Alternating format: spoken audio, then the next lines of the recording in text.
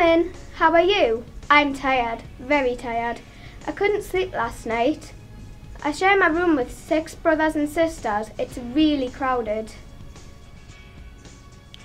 Dawit is my youngest brother. He was crying last night, has been for weeks.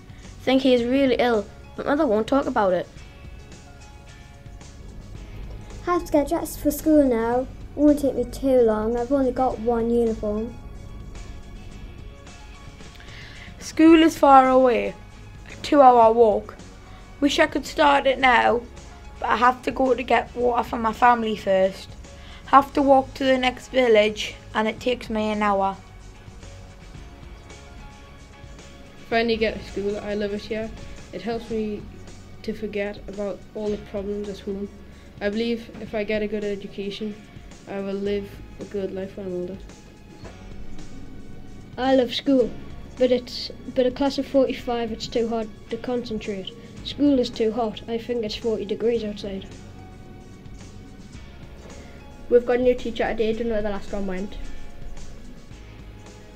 I have to share the exercise book with three others. Don't have my own pen and pencil, which makes work hard.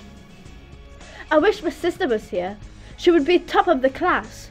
She was always the most intelligent in our family, but they won't accept girls into the school. I'm so hungry, thirsty, and tired. I would love some water. School is finished, but now on to the worst part of my day. It takes two hours to get home, but first, I must collect water once again. It hurts my back carrying all this water.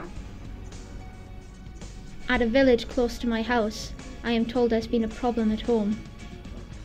Run! Run fast! You must get home. So I do.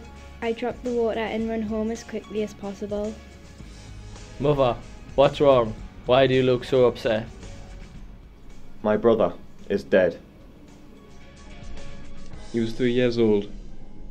So young. I knew he was sick. I didn't know it was this bad. Mum said today it was AIDS. And she says she has it too.